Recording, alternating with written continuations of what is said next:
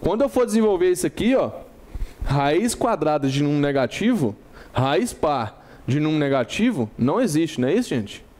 Dentro dos números reais não existe. Então, ó, raiz quadrada de número negativo não tem como. Então, isso aqui, ó, não existe as raízes dessa equação, né? Não tem conjunto de verdade dessa equação aqui. O conjunto de verdade, posso falar que o conjunto de verdade aqui, ele é vazio. Certo? É um conjunto vazio. Beleza?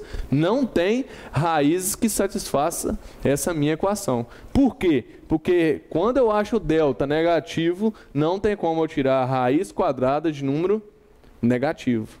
Certo? Isso. Então, ó, se eu for fazer aqui, ó, o delta deu positivo, beleza. Eu sempre vou achar duas raízes diferentes.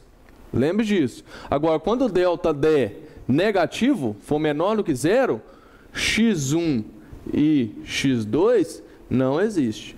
Tranquilo? Não existe. Certo? É um E. Isso aqui é um E, né? Ok?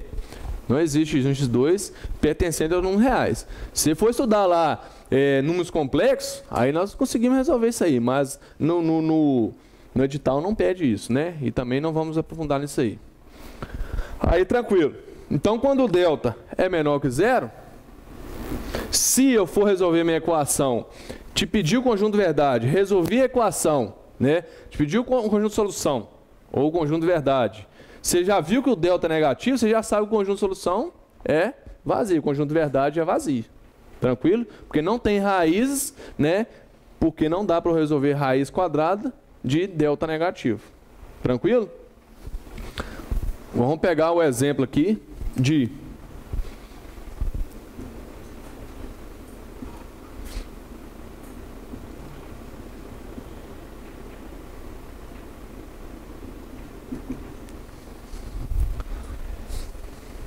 Aí. É, equação completa, não é isso? O meu A vale quanto aqui? E meu B? E meu C? 2. Se eu for usar a Bhaskara aí, como que vai ficar? Primeiro resolvendo o delta, que é b ao quadrado menos 4ac. Resolvendo o delta.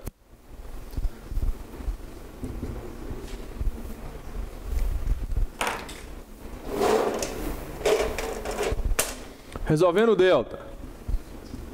O b é 4 ao quadrado menos 4 vezes o a, que é 2 vezes o c, que também é 2. Então, meu delta deu 4 ao quadrado, 16. Menos 4 vezes 2, 8 vezes 2, 16. Então, meu delta deu 0.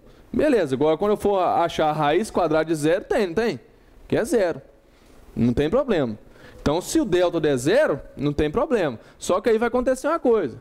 x é igual a menos b mais ou menos raiz quadrada de delta sobre 2a. Terminando de resolver a forma de Bhaskara. Então x é igual menos, o meu b vale quanto? 4. Mais ou menos raiz quadrada de o delta que é 0 sobre 2 vezes o meu a que é 2.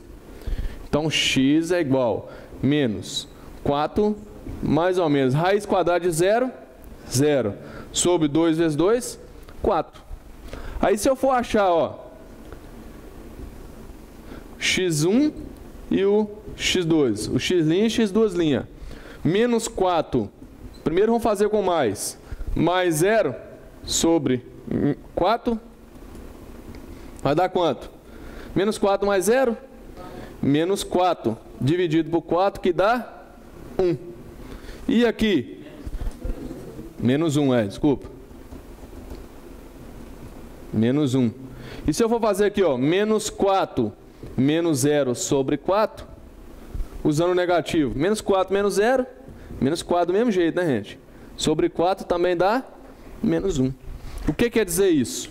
Se o x' deu menos 1 e o x2' também deu menos 1, se as raízes são iguais, é porque o delta deu zero.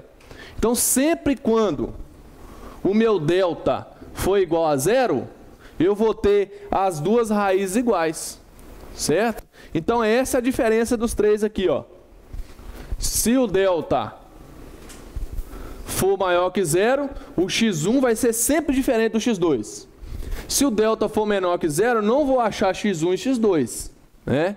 Agora, se o delta for igual a zero, o x1 vai ser igual ao x2. Tranquilo? Então, resolvendo a equação do segundo grau pela forma de Bhaskara, é isso aí. Tá?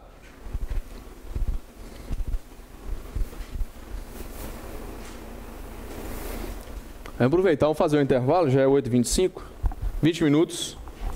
Tá? Quem estiver copiando aí, copia.